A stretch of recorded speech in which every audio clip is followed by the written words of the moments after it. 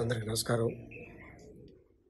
ఈరోజు మధ్యాహ్నం ఒంటి గంట నాలుగు నిమిషాలకి మనందరూ ఇష్టపడే అద్భుతమైన గాయకుడు లెజెండరీ గాయకుడు ఎస్పి బాలసుబ్రహ్మణ్యం గారు ఈ రోజున మన మధ్యలో లేకపోవటం నిజంగా చాలా బాధాకర విషయం. ఆ కుటుంబంతో దాదాపు నలభై సంవత్సరాల నుంచి నాకు పరిచయం. చరణ్ పల్లవి మేమందరం చిన్నప్పుడు సీతాకు చిలక టైంలో ఆడుకున్నాం. వారి ఇంటి పక్కనే ఏడుదు నాగేశ్వర గారి ఇల్లు. డైలీ వెళ్ళేవాడిని కలిసేవాడిని ఆఖరిగా నేను వారితో కలిసింది రెండు నెలల క్రితం రామోజీ ఫిల్మ్ సిటీలో. ఎప్పుడు ఆయన ఎప్పుడు వెళ్ళినా కూడా సరదాగా నేను జోకులేస్తే ఆయన నాకు ఎదురుగా జోకులేసి ఎంతో సరదాగా ఉండే వ్యక్తి ఈరోజు మన మధ్యన లేకపోవటం నిజంగా చాలా బాధాకర విషయం. ఐమ్ సో సారీ బాబాయ్.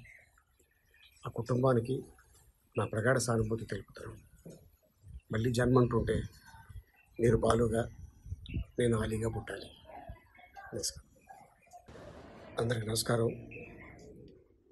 ఈరోజు మధ్యాహ్నం ఒంటి గంట నాలుగు నిమిషాలకి మనందరూ ఇష్టపడే అద్భుతమైన గాయకుడు లెజెండరీ గాయకుడు ఎస్పి బాలసుబ్రహ్మణ్యం గారు ఈ రోజున మన మధ్యలో లేకపోవటం నిజంగా చాలా బాధాకర విషయం.